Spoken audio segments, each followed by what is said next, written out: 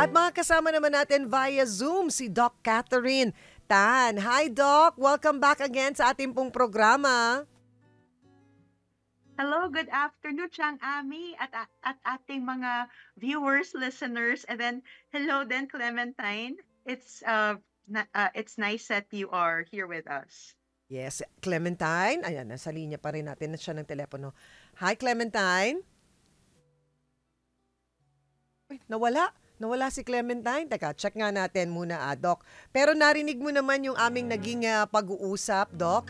At uh, yun nga, si uh, Clementine ay isang batang uh, achiever, talagang bata pa lang eh maraming uh, awards at uh, maraming mga sinasalihang mga contest pero uh, siya ay going through a uh, problem, a challenge, kanya, kumbaga, sa kanyang mama nga na siya'y lumaki nang hindi sila magkasama, Doc.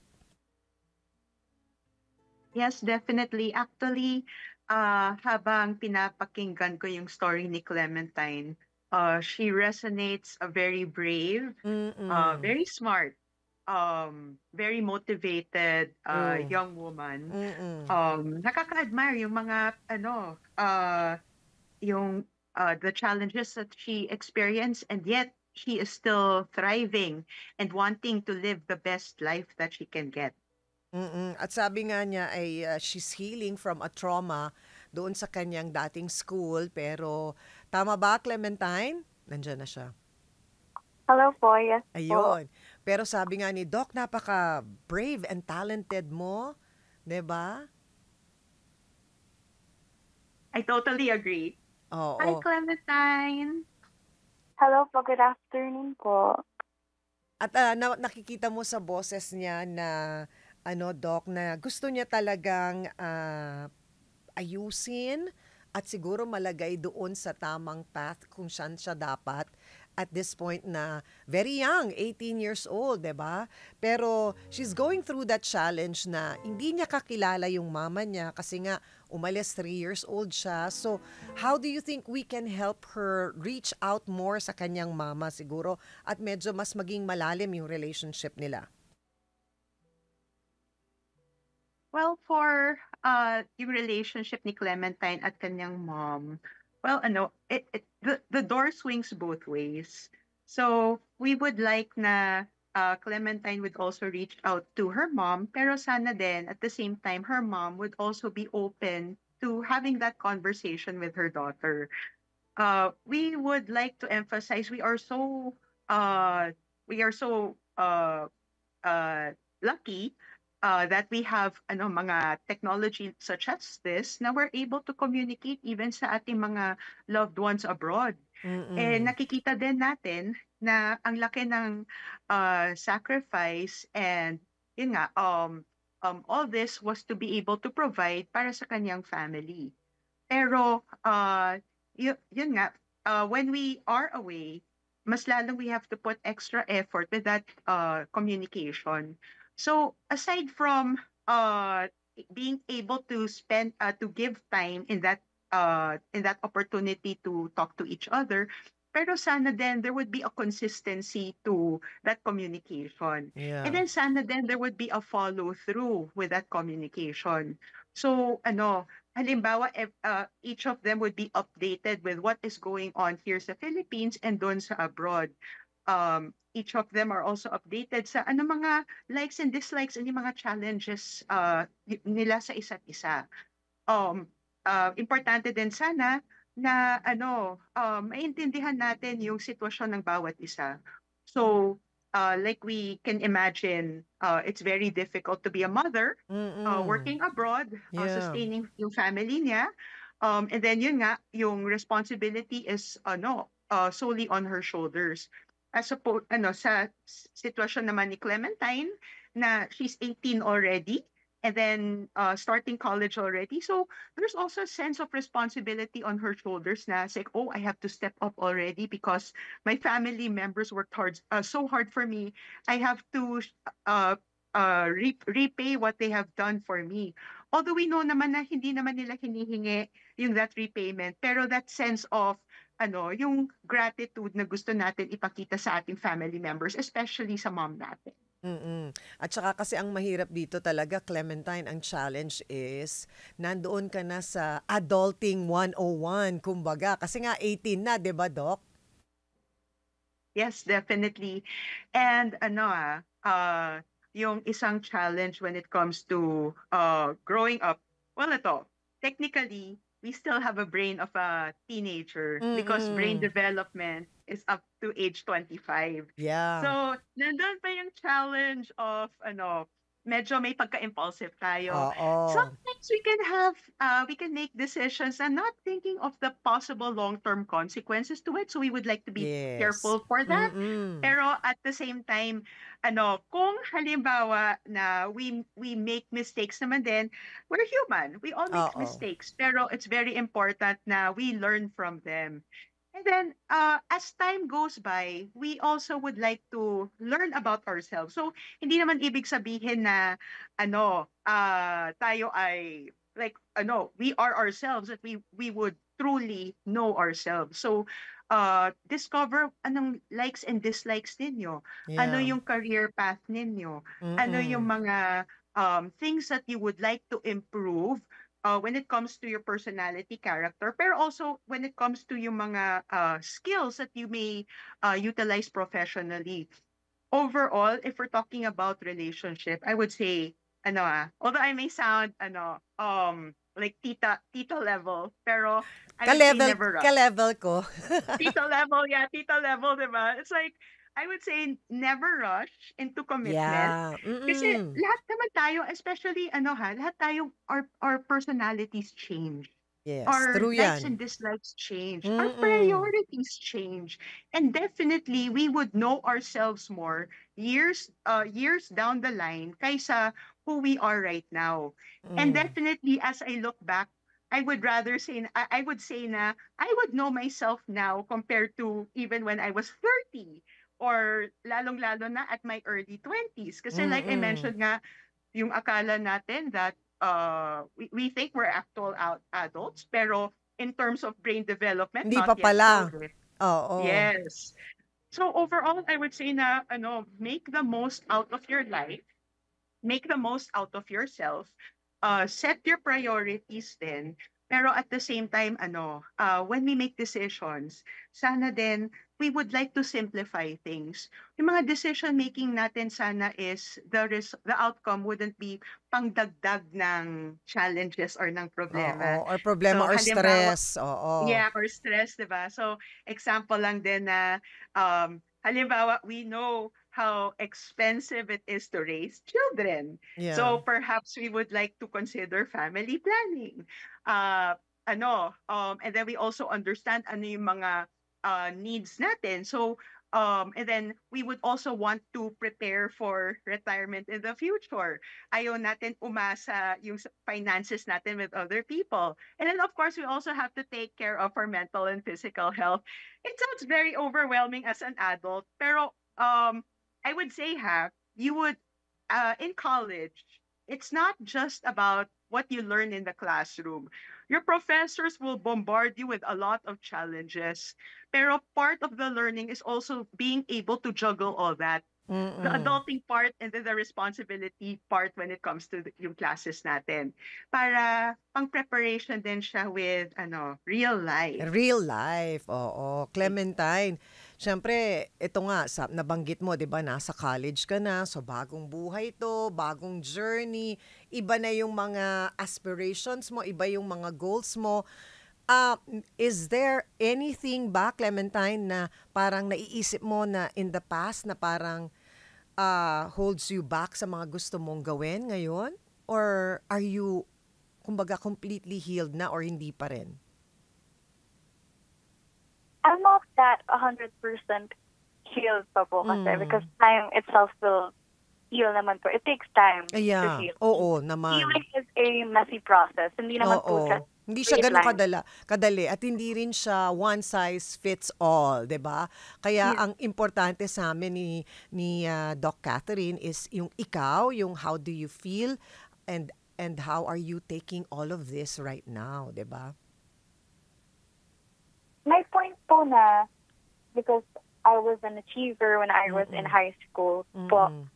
there's a thought lingering na what if in college I'm not that smart anymore? What if hindi na po ako magaling? What Mm. if ang dami pong what if Marami but. siyang what if, Yes. Doc Kat. Sa, ako sa tingin ko bilang nanay, okay lang yon Huwag mong masyadong i-pressure yung sarili mo. And hindi mo rin naman, syempre, nung college, ngayong college ka, iba na rin to. Iba rin yung mga pressures, iba rin yung challenges compared nung high school ka. Tama ba ako, Doc Kat? I totally agree with you. Mm. Uh, ano ah, uh, we have to remind ourselves na nobody's perfect and we're allowed to make mistakes. Mm-mm.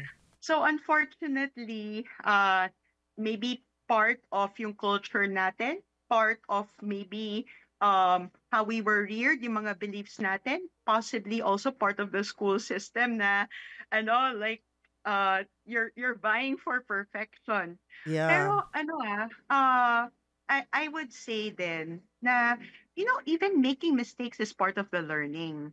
True. And then also, ano, um, those instances when we don't get what we want, that's also part of the learning. How do we um, um, fail gracefully? But the most important part is uh, how we get back up. yeah. How So, we recover.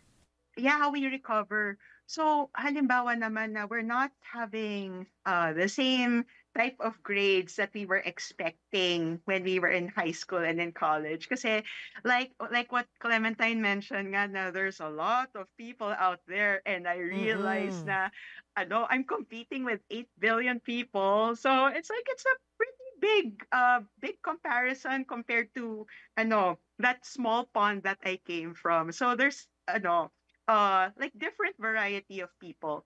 Well, um being a variety, uh it's not all about grades eh. It's also about like how you handle your stressors, how Mm-mm. you cope with your challenges. You know, at the end of the day, uh, when it comes to uh, success, uh, there are studies that showing uh, that are showing that it's not about intelligence. Eh. They say it's also it's about emotional intelligence, pero there's also a factor now we call grit. So the Mm. ability to handle all those uh, challenges and situations through life. Parang So yan yata yung nabasa ko, tama ba, Doc? Nabasa ko yan eh. Yeah. Parang AQ, Kay- parang adverse, adverse quotient, parang ganon. Yeah, so ano, it's Yes um it's a book by Angela Duckworth and then she was pointing out na uh uh in her TED talk na studies show that a big factor when it comes to success is grit. Mm-mm. So it's not about ano ha, it's not about the, the grades pero being able to outlast all those challenges then and how to handle it uh ano naman, sometimes it may not be gracefully, which is totally fine. When, Mm. pero at the end of the day, ah, we all make mistakes. And whenever we make a mistake, we would get back up and ask ourselves, uh, what did we learn from it? So that we Mm. can take something in and then make it ano, part of us to make us like a better human being. Oo. Clementine, medyo warrior ka ba? Ganyan ba ang ano mo? Yes po. There are times that I always get anxious of the things that I can control, of course. But Yeah. I've I'm starting to learn to accept or to embrace uncertainty. Kasi Yeah. I know that pag hindi ko ginawa, what if it turns out to be good or better than not trying at all? And Yeah. I've also read the book that Doc Catherine mentioned about the grit, Mm-mm. and I've, I've learned to, I've learned a lot. Na Oo. hindi siya about always being on top. Because winning isn't always success, and failure is not always fatal. Sabi nga po, di ba, pag hindi ka po nag-fail, it means that you're not growing anymore. You're just like a Mm-mm. boat in stagnant water. Totoo. And my biggest competition po talaga is not other people, but it's myself on how I can Yes. juggle workloads and balance it. Mm-mm. Pa- And how paano mo i-manage yung time mo, myself. Yes how you po. can ma- how you will manage your time, how will you, you know, deal with your stress sa mga challenges mo every single day. 'Yun ang pinakamahalaga. And siguro very important din Clementine na don't be too tough on yourself. Kasi ako nung bata-bata din ako, ganyan din ako. And then na-realize ko ngayong 50 na ako, sabi ko talaga, ha? Bakit pa ako masyadong ganun sa sarili ko? Eh, pwede ko namang itulog yan. Parang ganon, di ba? Meron ngang libro, Don't Sweat the Small Stuff. Sabi nga nila. Pero I understand na pagbata ka talagang ganun eh. You want things to be perfect, lahat magawa mo, pero kung hindi mo man siya magawa, okay lang din. May ibang araw magagawa mo pa rin, di ba, Doc Kat? Totally agree. And I would Mm. like to emphasize see how uh, smart and uh, graceful Clementine is. She was able Yeah. to um, sum this all up and apply it to herself. And Yeah. it looks like that you've been applying it to yourself already. Oo, kaya So nga eh. like- it's Congrats, very Clementine. Yeah. Oh, parang nakakatuwa lang that, you know, she's sharing her challenges with us and I'm sure marami Yes. ang nakaka- naririnig ngayon ng kwento mo, Clementine, na makaka-relate at masasabi nila, ganyan din ang pinagdadaanan ko. Buti na lang narinig ko yung kwento ni Clementine today. Oh, that's it po. I actually love talking with people who are older and wiser than me. Like, Mm-mm. you po, Chang Ami and Yeah. Doc Cam. Parang ang, ang, ang sakit lang nung older, Clementine. Charot, joke lang. Ay, sir, no, Tita levels. Hindi, okay lang. Okay lang yun. Basta, alam mo, walang problema, Clementine. You're always welcome na tumawag dito at magkwentuhan tayo. And we- we're good to know na naandun ka na sa process kung saan ikaw ay healing na, di ba, Doc Kat? Slowly, she's Yes. getting there. And alam mo yung mga gagawin mo, di ba? Yes po. And it's an eye-opener din po yung mga sinabi niyo po that maybe I'm being too hard on myself. Mm, yeah. Kailangan Oo. kong mag-play, uh, I mean, to stay, wag masyadong, wag masyadong, masyadong isipin muna yung mga bagay. Yeah, oo. Huwag ka masyado mag-worry. Kalma lang muna daw, sabi. Kalma lang. Thank you for that po. Oo. Thank you ha. Thank you Clementine for sharing your story with us. And Doc Kat, maraming maraming salamat din. Ang dami na naman naming napulot mula sa inyo. Thank you, thank you again for your time. You're most welcome, Chang Ami, and happy to meet you, Clementine. Thank you for having me again. Thank you. And Doc, if may mga interesado po to get in touch with you, where can they find your social media accounts? Meron po ba? Or website? Well, uh, they can find me at uh, Facebook, Instagram, and then I'm also at LinkedIn. And then, um, well, we have a clinic. It's called iPsych Incorporated. It's located at 1801 Centoria Medical Makati. Uh, we have a website, so you can just Google uh, iPsych Philippines. So it's like iPhone, pero Yan. iPsych. Yun. And it stands for Innovative Psychiatry. Ayun, maraming salamat, Doc Catherine. Subscribe na sa Teleradyo Servisyo YouTube channel.